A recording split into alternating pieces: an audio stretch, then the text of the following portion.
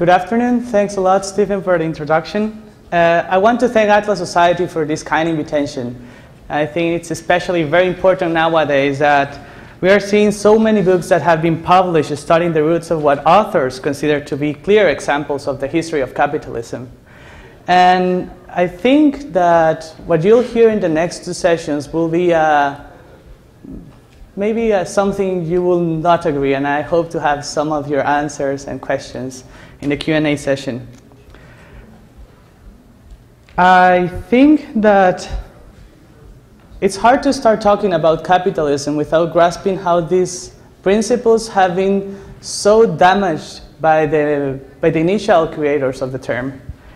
And to talk about the topic of capitalism and trying to link it with global, with global history will require for us to bring a lot of coffee machines. So I'm not planning to do so this time.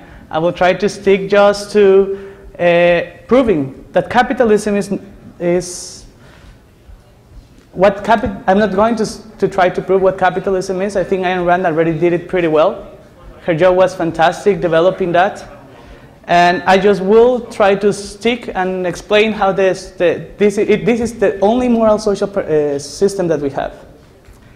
Uh, I will try to demonstrate what is capitalism, and I will indicate its proof by taking examples from history in regard to the existence or non-existence of many of the principles that have been characterizing it and that have been so damaged by the authors that created it, and then by new schools of study, especially in history, that have completely destroyed. So please be warned from this moment on that an entire and consistent understanding of the history of capitalism is not going to be provided by me, and I think that wouldn't be able of doing it will be it wouldn't be able of getting by anyone else. So it's very good that we will have lots of extra time to discuss any particular historical moment that you would like to talk about because we are a very privileged group. Most of you already know what capitalism stands for, what are its principles, and how Ayn Rand managed to justify it wonderfully as no one else in history had done it before. I take for granted today as well that you are an objectivist educated audience. And I take the premises of capitalism as axiomatic to you. If this is not so, I please really recommend you to study Ms. Rand's philosophical works and to study the works that many other authors have done to explain the introduction of objectivism. And maybe this will help you when I start explaining how I think that uh, capitalism has never existed as a social system. And as such, to hear many authors that have linked it to clear examples in history with us, you could try to explain, oh, capitalism existed and it's a system that uh, the founding fathers created, and we had it maybe for a couple months, and you'll hear others who will say, no, no, capitalism lasted until the Constitution was finally drafted, or others will say, no, it lasted until 1820s. Or many others later will say, no, Abraham, Abraham Lincoln destroyed, it, but before, we had a fully capitalist system in which it was full of entrepreneurs and all of them were moral. I really disagree with that point. And if anyone here would like to contradict it, I'd be very happy to, to hear your points. To conclude this introduction, my goal after the lectures today and tomorrow, so I hope that I'll see the same amount of people or more tomorrow, will be that you will learn new insights on what capitalism stands for, and that you will be able of identifying its principles in historical examples. Lastly, my third goal will be for you to also learn how to reject the ideas of many scholars that have defended capitalism without recognizing its moral justification. And this is what makes objectivism important and valuable. There are many other schools that are very friendly to liberty, but that have failed to understand how the morality of capitalism can only be justified on the defense that Ayn Rand did of individual rights as the basic constituting unit of society. And I think this last point is the most important and difficult thing to achieve for us. I was very lucky that I grew up in a family in which capitalism was understood with the definition that Ayn Rand gave.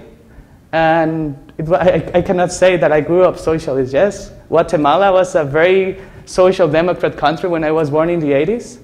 And, but maybe there's many other people who never had that luck of having been born and taught in objectivist ethics. So I wish you a wonderful summer seminar, and I hope that I'll see you soon in the next couple years. I define capitalism with the same definition given by Ms. Rand of a social system based on the recognition of individual rights, including property rights, in which all, private, in which all property is privately owned. And her best exposition, in my opinion, of this term and of how she developed it, you will, I'm pretty sure that you all read it. It's in the, her essay, What is Capitalism? This essay is very special because when you're first starting, she opens very differently from the rest of the essays that she has written. In many of her essays, she begins with a clear introduction of what is she going to talk about and explains it. But in this specific essay, Ms. Rance opened it with a very interesting observation on how the scientific fields and humanistic fields are in a state of degeneration. This is important to mention because it was the field of history the clearest product, in my opinion, on how this degenerated system was created and it continued growing. Why? Because the first chairs of history were founded two decades after the famous proclamation of year one in, 19, in 1792. There was an opening for a history chair first in the University of Berlin, only 100 miles north from where I'm living in 1810. And in 1812, the second one was founded at Napoleon's Sorbonne. By the second quarter of the 19th century, history had already become formally constituted as a discipline, and it had its own elaborate array of professional journals and theoreticians. As was aimed by the creators of this new measurement after the French Revolution of time and the creation of new disciplines, the study of history was also born with an understanding of the ideas and events behind the revolutionary ideas of 1776 and 1789 to be figured as embedded in historical moments that had not direct uh, relation to, to, to, the, to the present. There was no co consistency on causality nor any understanding at the beginning on these effects. They were considered just as maybe the Greeks understood myths. And the long-term effects of this historical way of historicizing can still be found today whenever you hear people talking about how the founding fathers uh, had these wonderful utopian ideas that we can go back and link to them, but that at the same time cannot explain how we ended up in this problem. You see, you, you hear them as references on libertarianism, on liberty, history, about how they were these completely secular men, but still there's no clear separation between church and state in, in the US government, which is the only system that was created with many of the principles of capitalism that Ayn Rand then later continued to study. And thus, history tended to be studied as to be only historical precedents and models that had no re direct relation to humanity. In the same way, these principles behind historicism affected the way in which the history of the term capitalism was understood and of how capitalism was later applied to explain social systems in different places of the world. For example, the use of the term capitalism and the role of capitalists since its conception appear as a mean to describe an economic and social precedent and model that was to be overcome and improved by the coming of better systems. This was justified by many economic misinterpretations on how human action takes places. And you can listen some of these historical arguments still today. Capitalism was in its birth understood as a consequence of evil and never its premises were studied or clearly defined by those who conceptualized the term. By the end of the 19th century, this historical approach to the history that was articulated by historicist schools and further advanced by the works of Hegel, Hegel Marx, Foucault, Dewey, then Kuhn, and many other philosophers of science, to mention just some names, continue extending into a multidisciplinary and macro-scale approach to world history and to social systems that aim to, to describe the world history and social change as a fluctuating machine that was going to be at, going from one level to the other and in which there was going to be a continuous class struggle that later extended to, uh, to talk about struggles between races and gender, etc., etc. As you all know, the word capitalism was coined until the 19th century and it came from someone who was very critical of the concept. Added to this, it was during the same time that many of the ideas and abstractions that we now understood of how capitalism is formed were only a product that was being criticized by the same people who started using the terms or who pulled them from history, from the times of Smith or what Ricardo had to say only 50, 60 years before. Many texts define economics as the study and of the allocation of scarce resources. That has been the very consistent way in which we have heard it and studied it, and in, in the, that's the way in which many of the politicians and economists nowadays talk in the media. It was to be economics was the study of how a society took the wealth that had, that had been produced and how is it distributed efficiently. Others will talk about utility. Others will refer to how economic wealth is well, not well distributed and has to be redistributed, etc., etc. And how was production going to be allocated among different purposes. Academics understood the history of capitalism as the study on how scarce resources started to be allocated in society and distributed in the past, and of how disastrous and inhuman this allocation worked, was always being done by referencing capitalism next to its supposed inefficiencies. Capital, land, and labor were the central terms. And the questions that were raised were centered in the problem of the allocation of the surplus. Ms. Rand said that this was an actual problem, and this study of economics and capitalism assumed many things that may be wrong and not true. She thus started to ask fundamental questions in order to start an educated discussion in history economics, and politics. Not from the middle of a story, as had been done previously by many, many, even by historians and economists, but from the very beginning of how the term came to be. To understand what Ms. Rand try, tried to do, or actually she did, and achieved very well, I will exemplify, exemplify it as if we were, were going to read a book on the history of the United States of America for the first time. Never before we heard about it and as if we were going to aim, learning how the country came to be and was founded. Why? By whom? For what purposes and by which means? Without paying attention or knowing which were the previous historicals and the global events that enable it. So can you imagine if it will be possible to understand uh, the correct and true reasons and principles behind the foundation of the country? Without having a clear idea what was going on before these territories, I think it would be very hard. And it's something, it's still something that you see when people write books about uh, the third world and how it came to be without having a clear understanding on post-colonialism and all this agency that was done there and the struggles of power or on how the same initial tribes that existed there were also having autocratic systems that were just transplanted, transplanted, sorry. Can you imagine reading the Declaration of Independence of the United States without having no knowledge of what happened before its draft during the weeks after June 11 in, 19, in 1776? With the participation of Ben Franklin, with Thomas Jefferson, uh, with Robert Livingston, which is someone we don't, we don't hear in the mainstream, and with Roy, or Roger Sherman in Connecticut. Can you imagine reading the Declaration of Independence without understanding what were the principles behind these words? Ayn Rand was actually the first one who decided to do something like this when approaching capitalism because no one before had tried to do so. They gave, it, they gave for granted what Karl Marx and many other uh, economists previous to him referred to the term capitalist.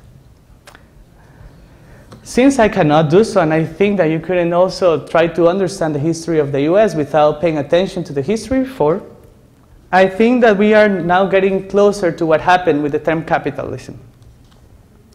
Generally, the current historical narrative points out that capitalism is an economic system that became dominant in the Western world following the demise of feudalism. Now, are, there are many historians who will argue that capitalism not necessarily began after the demise of feudalism, and there are many others who will argue that the term feudalism, as is wrongly misunderstood as capitalism, is nowadays. And as you know, more historians do not even have a consensus on the precise definition of what the term capitalism stands. And the consensus is not, is non-existent because many of, uh, many of the principles that constitute this term uh, were never studied from a consistent epistemology, from a consistent metaphysics, and from a consistent politics or ethics that was able to be grouped together. This is something that only objectivism has achieved. And I think that that's the reason why we're all here. Capitalism was considered to be a component of these specific principles. Private ownership of the means of production, the creation of goods and services for the profit of income, the accumulation of capital, competitive markets, voluntary exchange, and wage labor. This is the way capitalism is studied and understood in many economics books and in history books. And the relations between the participants in all these uh, activities are the ones that usually all humanities are trying to discuss, argue against, and destroy. Added to these principles, historians apply them to understand a variety of historical cases and try to contextualize them in time, geography, politics, and culture, and to link them to global scales that will be able to reproduce in different areas.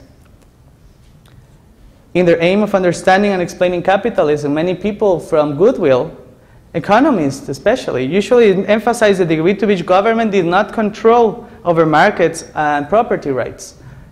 People like to talk about the limited state uh, without understanding what, limited government, government, sorry, without trying to grasp it on the, what is, what is it good about it? What's moral about this? And even the author of the term never had an interest on a limited government. He wanted just a, the largest government of all, which is the government of the peoples, for the peoples. To them, the extent to which markets are free, aka capitalistic, is a result of the rules that define property and the policy of a territory. As a result, it is in the fields, especially of capitalism, that I'm pretty sure that you have read terms like crony capitalism, corporate capitalism, mercantilist capitalism, privileged capitalism, oligarchical capitalism, social capitalism, mixed capitalism, anarchic capitalism, democratic capitalism, libertarian capitalism, autocratic capitalism, totalitarian capitalism, dictatorial capitalism, evil capitalism, rapacious capitalism, and dozens of more anti-concepts that are daily used in papers and articles in news reports everywhere. Just in the last couple months reading lots of essays uh, and papers for, for, my, for my degree, I've read all these words. And I think all of you already knew them, right? So this exemplifies wonderfully how the fallacy of the stolen concept has been applied and multiplied like prostitute like everywhere in, in, in writings and papers of the most re renowned academics everywhere. There's not single academic who will respect himself. That's something I heard just last week. There's not a single academic, even a classical liberal, who will dare to try to quote Ayn Rand as a reference for the works. But maybe these same persons will be talking about crony capitalism and using an anti-concept that has no objectivity at all and they will think it's okay. That's the way it should work. It's okay to talk about crony capitalism, capitalism in order to defend capitalism without they are acknowledging that they're just doing a package deal in there that is actually destroying the foundation of the principle as something moral. Well, this term, the capitalist term, which as the basic unit of capitalism, was created to, as a reference to the owners of capital and not as the meaning of someone adhering to the economic definition of a capitalist system. And the term capitalist dates back to the mid-17th century and it's derived from the Latin word capitale. Capitale is also a derivation from another term called caput, which means head. And it's also the origin of the word chattel, or cattle, in the sense of a movable property that we will nowadays call livestock. The word capitale emerged in the 12th and 13th centuries in the sense of referring to funds, stocks of merchandise, sums of money, or money carrying interests. By the end of the 13th century, this term was also used in the sense of the capital assets of a trading firm, and it was frequently interchanged with a, no, with a different number of words, like wealth, money, funds, goods, property, and so on and so forth. This was also a very important time of expansion of commerce. Three centuries later, by 1633 and 1653, the Hollandisch Mercurius used this term capitalist to refer to owners of capital. And in 1788, the term capitalist was used by the French Hellenist and magistrate Etienne Clavier to refer again to those who own capital. So we had already established by the end of the 18th century a very clear consensus of what capitalists mean. David Ricardo also referenced the term capitalist in his book Principles of Political Economy and Taxation in many occasions already by 1817. And even a poet, Samuel Taylor Coleridge, wrote about capitalists in his opinions regarding philosophy, economics, society, and religion. It's very interesting how he refers uh, from a very Christian perspective uh, the, to the term capitalism. The term slowly became widely used by authors, and by the 1840s, it was already widely used and condemned, of course, because capitalists are evil. That's the way it worked. Proudhon, using his first book, the title What is Property? An Inquiry into the Principle of Right and of Government, uh, a depiction of, that was going to be used for the next 150 years, and it became very quickly the norm. Capitalists were deemed as exploitative. They were men who profit from the labor uh, of the laborers and paid back the small salaries and robbed them. They were already considered evil men, and he extensively referenced them by linking them to Phaedrus' lion fable. I don't know if you know the fable. He, there's a, the translation I got says, I am the contractor, I take the first share. I am the laborer, I take the second. I am the capitalist, I take the third. I am the proprietor, I take the whole. And these four men are considered to be the, the, the, root of capitalism. Even if we talk about an entrepreneur, it's only a couple of us who understand that the role of the entrepreneur is to produce more and do many other things out of innovation. But these four different uh, names for the same person that we consider an entrepreneur are considered to be the, the solely individuals who take absolute, absolute control of society.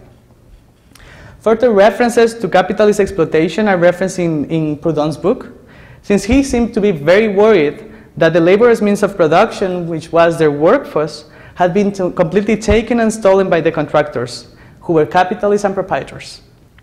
His conclusion was that, quote, the interest of the capitalist, in other words, the increase of the yield tends, on account of the power of the labor, the multiplication of the products and exchanges to continually diminish and by constant reduction to disappear.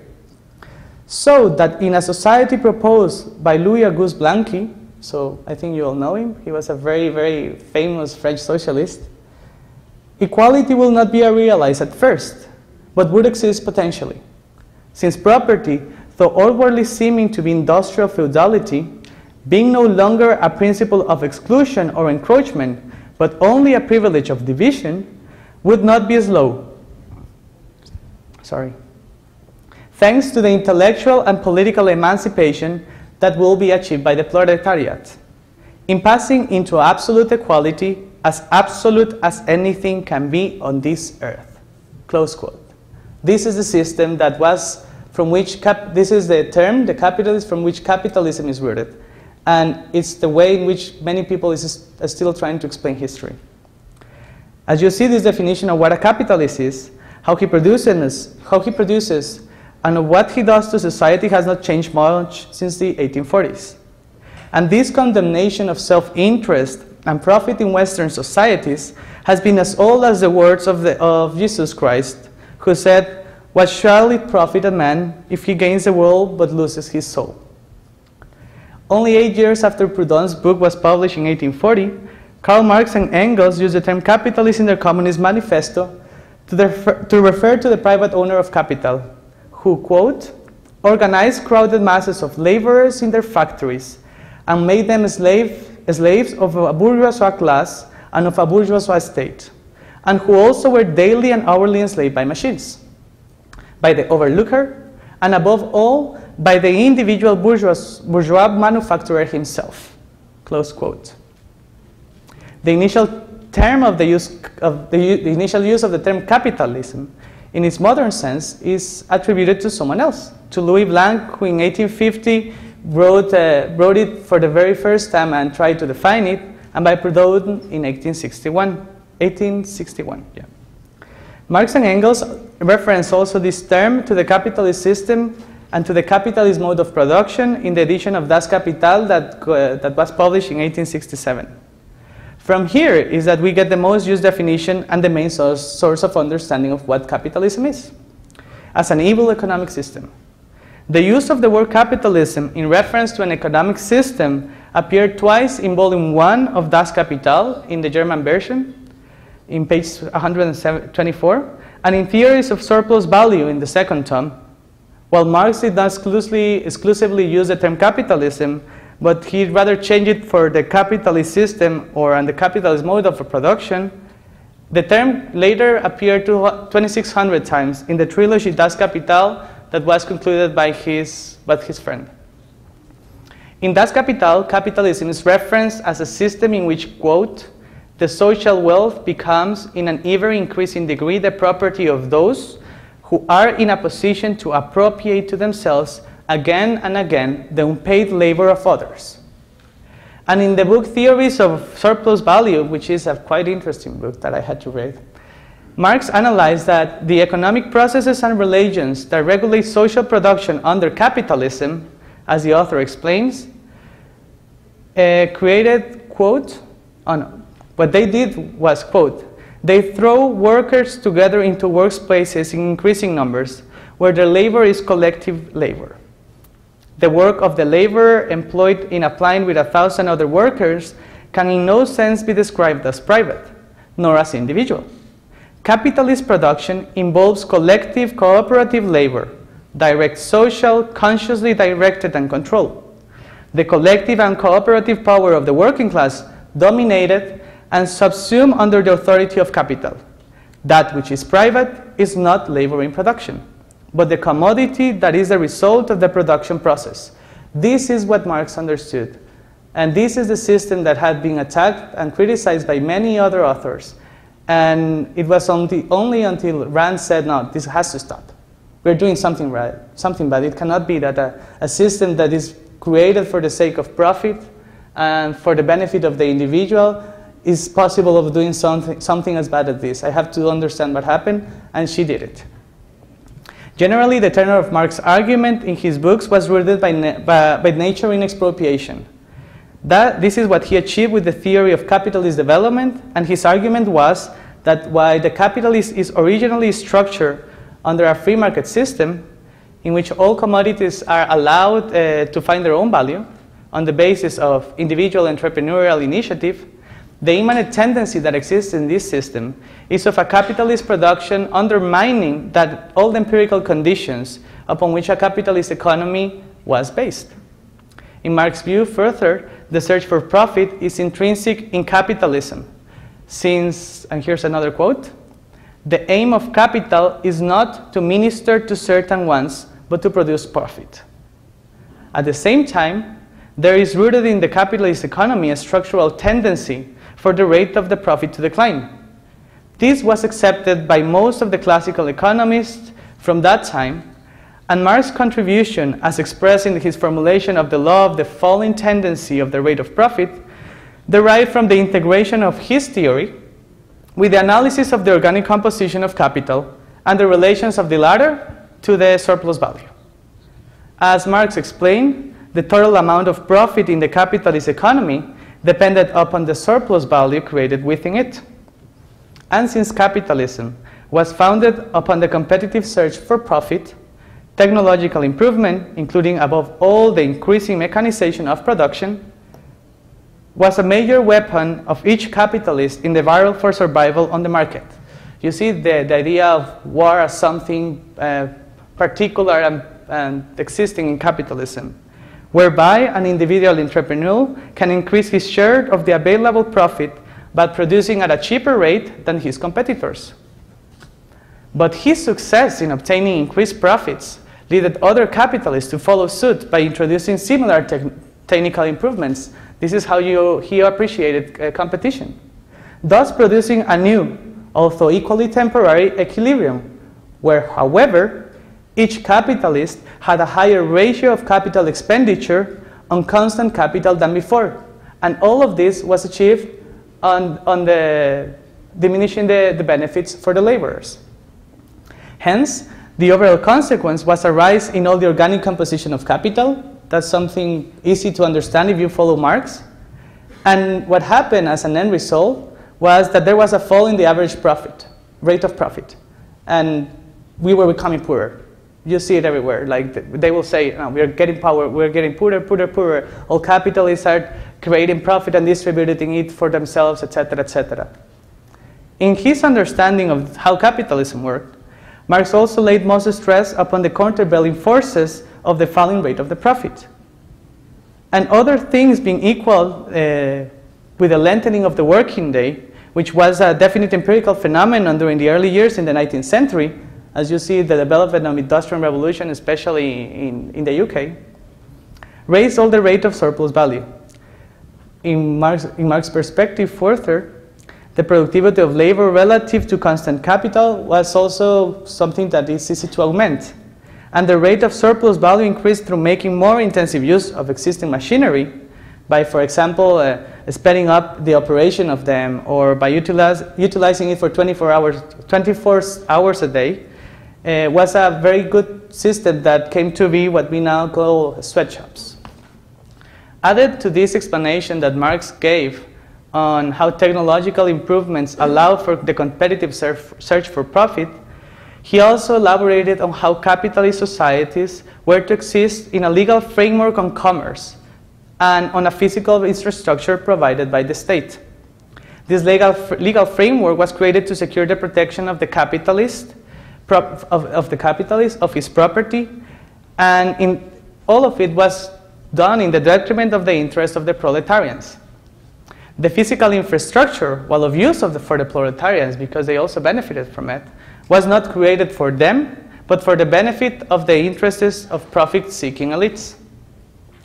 After Marx died, Engels' revisions and more extensive use of the term capitalism became widespread.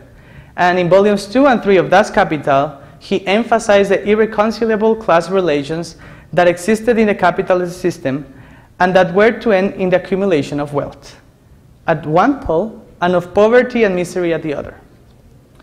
This previous set of ideas, which is very extensive and loaded, continued to be studied in similar ways uh, and questioned by schools that follow through uh, Marxism until today. And a great example that maybe will be easy for here will be something that happened 100 years, uh, from the first 100 years of the American history, in which many classical liberal authors have paid lots of attention and to, with whom I kind of I disregard a lot. And I refer to the anti-concept of how corporatism developed since the foundation of the United States of America, and which culminated in the first stage, stage uh, with the demonization of the robber barons in late 19th, 19th century. The robber barons, that's the so-called political entrepreneurs, were not capitalists but corporatists or to use a term that Adam Smith employed in The Wealth of Nations, were mercantilists because of their close relations to government privileges. These political entrepreneurs gain an unfair advantage to special privileges. There, uh, Thomas DiLorenzo makes a very interesting argument defending them. I disagree. And I consider that they did gain a special privilege created by government intervention in the way of direct subsidies, and regulations that harm their competitors, among others. And DiLorenzo makes an argument, yes, they had, uh, you can argue that they have uh, privileges, etc., etc., but at the end of the day, even if they had a, a big part of the market, it was not granted by government. They did it by themselves, and prices were lower. I'm not sure about it. Yes, they innovated and created thousands of jobs in, in the US and Europe, but they were by no means the John Galt who innovated and created wealth with the beautiful oath that all the members that joined in Galt's Gulch had to say that I, ask, I swear by my life and by my love of it that I will never live for the sake of others, nor ask any other man to live for the sake of mine. And this is what a real entrepreneur is supposed to do. This is what a capitalist does in a system that is consistent. Also, Smith wrote uh, about the mercantilist system, and uh, 160 years later, many of his ideas were already being denied as, as also facts. in the restraints upon imports that were used to be given for the benefit of mercantilists in all foreign commodities in Africa and Asia, uh, was embedded this uh, term as something very important that had to be understood.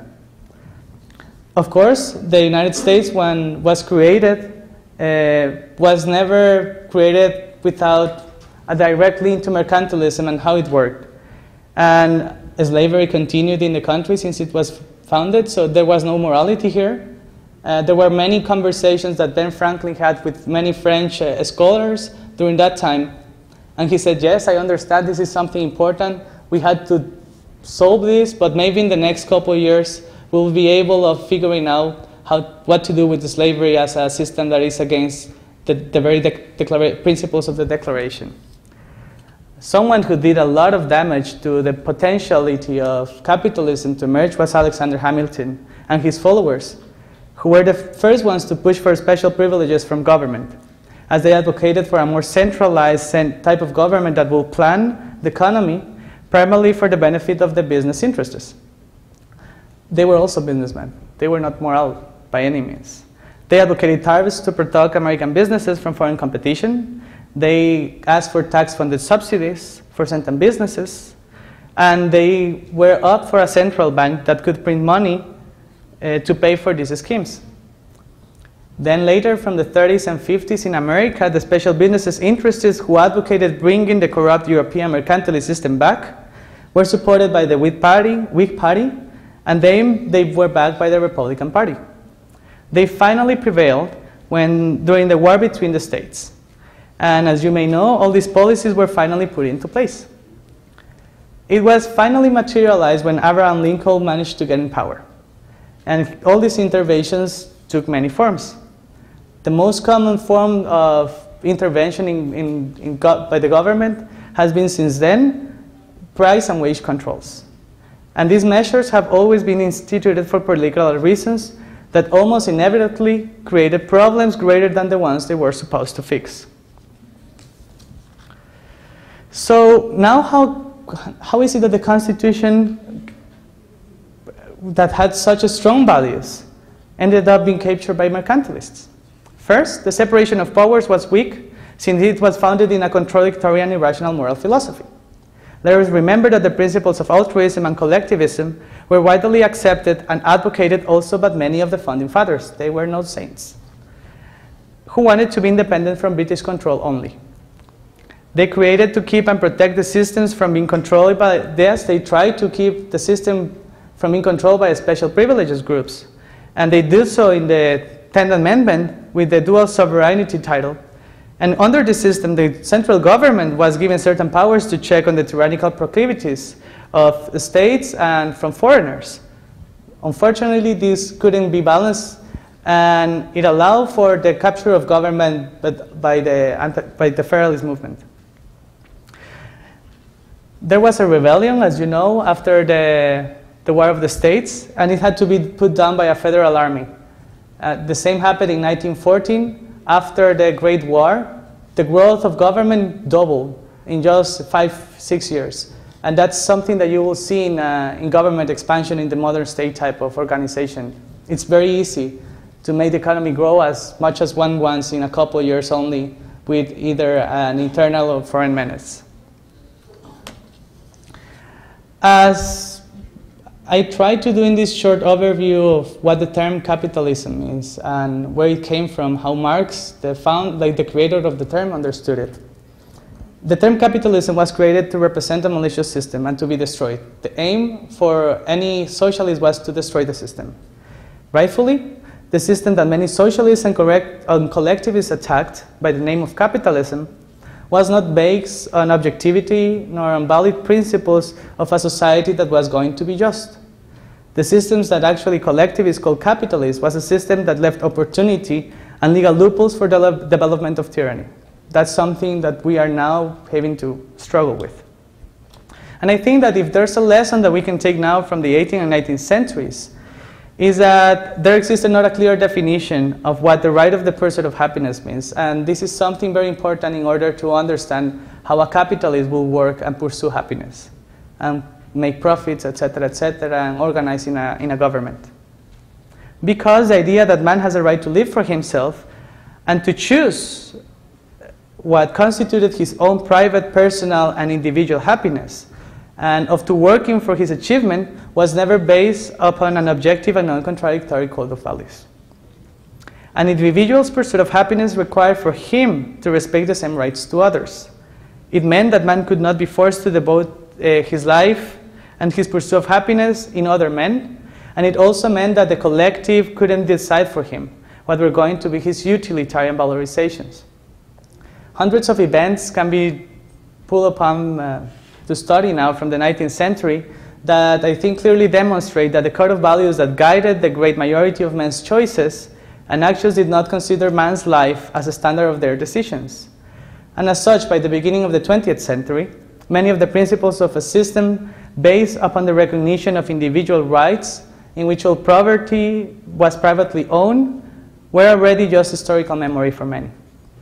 As sad and fu or funny as it may seem, I think that it were collectivists at the beginning of the century who by, the, by then had already won the battle in explaining how a free economy without a, without a rule of law and objectivist ethics ended up, ended up granting privileges for groups of interests and of how utilitarian classical liberalism failed to explain why capitalism was the best social system. It took almost 60 years more until Ms. Rand rediscovered the term and rescue it. So tomorrow I will try to explore what has occurred during the last hundred years uh, in history and in the discourses in, in regard to capitalism. And also I will try to explore Ms. Rand's heroic writings that gave us an instrument to start a capitalist moral revolution for the first time in history. Thank you.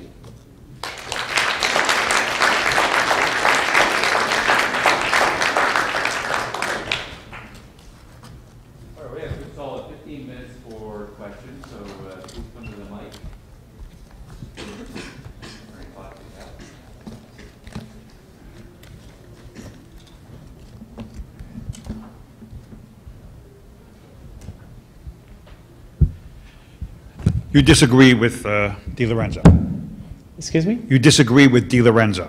Yes. uh-huh. You think that the robber barons did things wrong or Yeah. took government favors? Correct. He says they didn't take government favors. Vanderbilt was caught bribing a government official, I believe, at one point. And the reason he did that is because he couldn't get his railroad started, or he couldn't get in business because the government was blocking him from doing anything that he wanted to do. Is that the same way?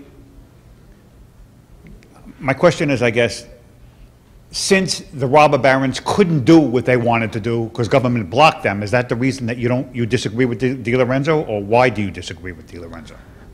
I don't think that will be the point because it will be the same as the government blocked them is the same way the government is blocking us right now by taxing us and taking that money from us, right? The, yes, the government had many blocks for the development of these big industries of oil, rails, etc., etc. But the point was that they were actually collaborating with the government in order to keep specific areas of control for them. So, for example, in the history of the development of the rails in, in the US, they had already fought and lobbied for, for grants in specific areas of the territory that they could develop. Didn't they all go out of business, and didn't the ones that stayed in business, uh, the only ones that stayed, the railroad stayed in business, are the ones that didn't get granted government favors? The ones that did get granted government favors went out of business. That's part of his argument too, but that's not true. There were many of the people who continued and came out. You know, the point is if if your if your premises are wrong, then the the if you start with some favors in one thing, but then you say the rest of the things they did was okay. At the end, what you have is a mixed system. So they are not an example of someone who actually worked and created these great things in America. Like the building in front of us was donated by by, by Carnegie, I think. So they did many well many good things, but at the same they profited from the system. So I I don't see how they could be considered like heroes as anyone who entered jungle like Galt's Gulch would have done so. So Rockefeller's not a hero either, or Sorry? Rockefeller is also not a hero. I think he has many values and he did a lot of things, but I will not consider him as a capitalist uh, to whom we should uh, go back in history and point out, hey, look, Rockefeller is what a capitalist is, ought to be. Yes, he was an entrepreneur, but if you understand the context in which this was developed, or the labor especially, especially that was used to build all the things that he had, uh, was already, you, you can see there, there were controls of government that favor him. Okay. And he profited from, from it. This is a, I guess, a similar. Uh, oh, first of all, excellent talk. Um, uh, I guess maybe this is maybe a different way to understand the question that uh, was just put forward. That am I?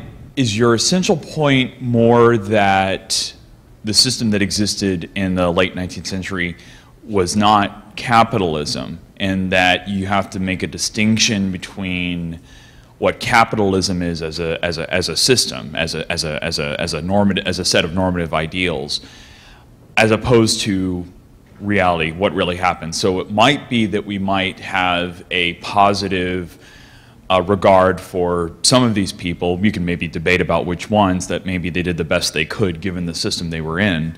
Uh, maybe they were virtuous people, but uh, they weren't capitalists in the, I guess, in the sense that they were operating within a capitalist system. Is that what you're trying to say? Exactly, yeah. Okay, so so it's, so you're not saying that these are like bad people or Oh, no, no. Yeah. The, the thing is that, as Ms. Rand said, and she made it very clear, like capitalism has not existed never in history. So by us granting them the title of capitalist in, uh, in, her, in her sense, in which they had to be... In a to philosophical sense. in the philosophical sense, of course, but we have to do like historiography. If, if I want to do historiography on theory, based on theory, on objectivist theory in history, I need to be consistent also on those terms. So by doing this, I am opening the doors for someone to easily attack me because I'm using it. If I'm not using it consistently with my philosophy, then I'm playing with their terms, and the, the chances that they will win an argument will will be almost on their side.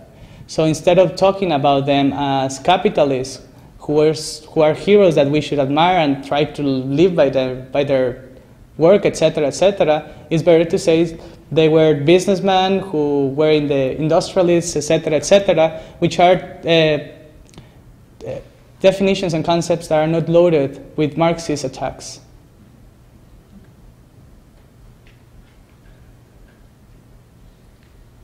Going back to the uh, robber baron's comment, uh, so to speak, what do you think about uh, someone I would consider a capitalist today, Elon Musk, SpaceX, Tesla, one of the most amazing uh, car companies um, around today that I think are going to is going to propel the electric vehicle uh, forward into the future is something that's actually a sustainable idea. Um, in context with what Ludwig von Mises said, that don't hate the capitalist for his means, hate that those means exist, Mm-hmm. right? Elon Musk was able to get investment from Chrysler. Is that necessarily a bad move on Elon Musk's part? Because without that, he made a strategic move that was the right business choice, and it was the in, in the interest of creating wealth. I understand that Chrysler giving him the money that was effectually bailout money, that's bad. But is Elon Musk any less of a capitalist for taking that move? Because I, I honestly believe, unless you could persuade me otherwise, that that was a capitalist move to bring Tesla to profitability. Well, I think that was an efficiency move more than a capitalist move. So if we try to stick with the term and what it should uh, mean. So yes, he was very, he, took the, the most utility based decision than to go for the money with, with Chrysler. But if he knew that he was actually taking the money that was not his, this reminds me to Ragnar's. Um, and it's a very good point that Rand made in the book. Like, you will not use the money of others. Like, Ragnar will all the time give back the money that was actually the product and result of entrepreneurial activity, of innovation. But he never gave back to, to Dagny uh, the money that was created by the, by the benefit of the government. Do you remember that part? I, I, absolutely, and I guess my point is that that money he did not take from someone else. Had Elon not taken that money, Chrysler would have produced a bunch of more crap cars, But- right? but- But, yeah, instead, he uh-huh. created wealth with that money. So uh, maybe it's not the perfect solution, but is that not better that he did that and took that money and created wealth with it, as opposed to it stagnating in Chrysler?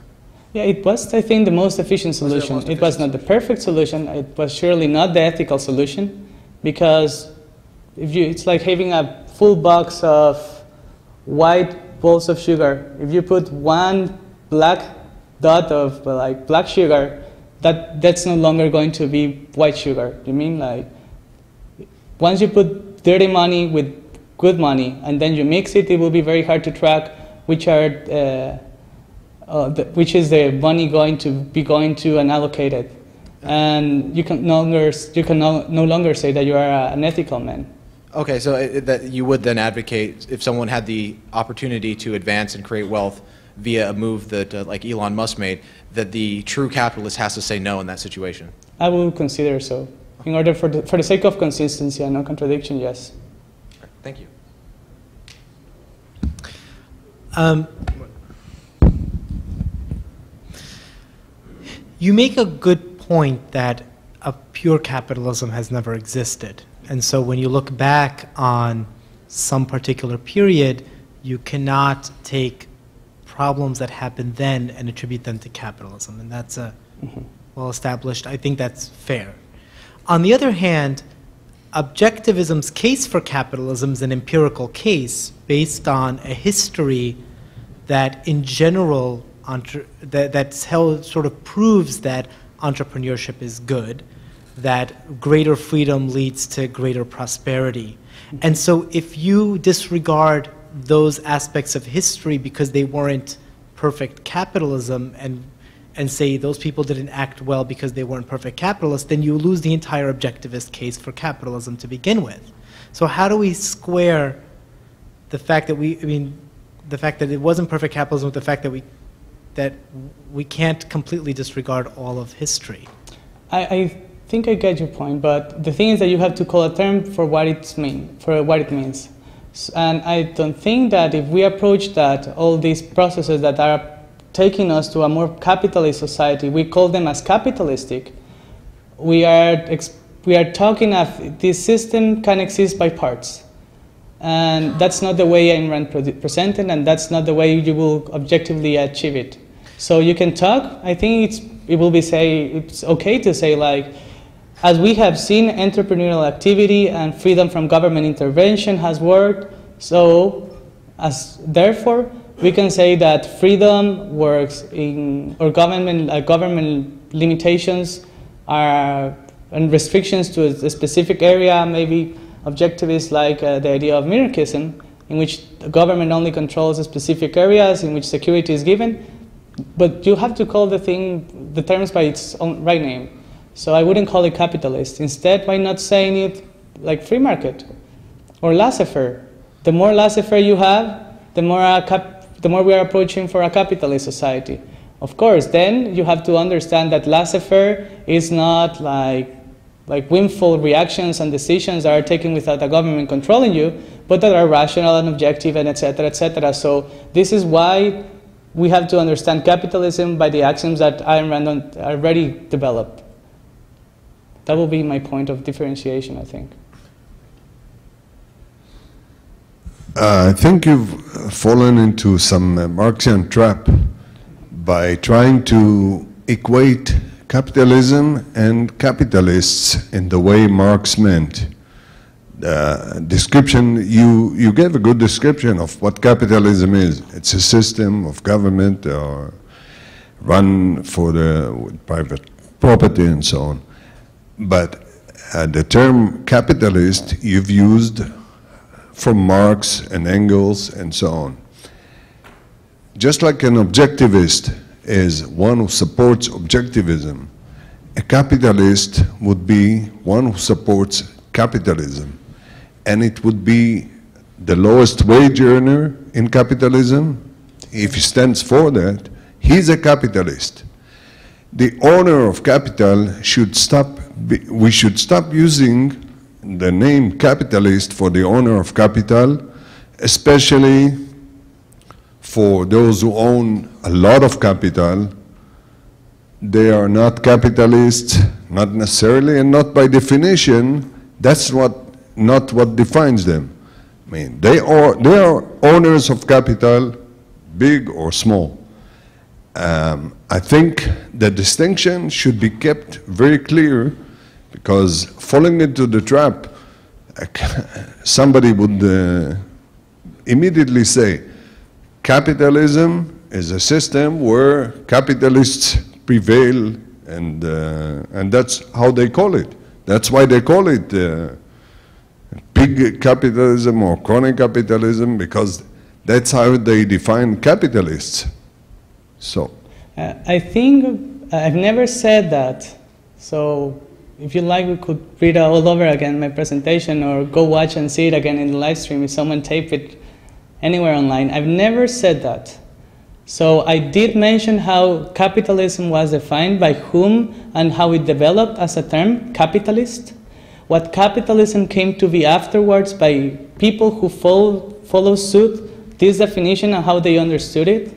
But I did say that capitalism was a system completely different from what the definition they gave, and that capitalists, the people who are part of it, all of us, if we were in a capitalist system right now here in this room, will be correctly to be called capitalists. So I'm not against using the term when it's right to use it. Au contraire, no.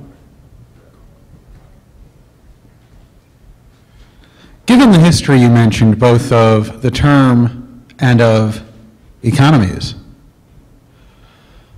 uh, do you think perhaps we should reconsider Rand's judgment that the word capitalism should be rescued and defined in terms of those principles, uh, and perhaps actually use terms like laissez-faire and free market uh, that are less ambiguous and don't, also don't have that confusion about whether a capitalist means a person who supports capitalism or a person who owns a lot of capital and deploys it in certain ways.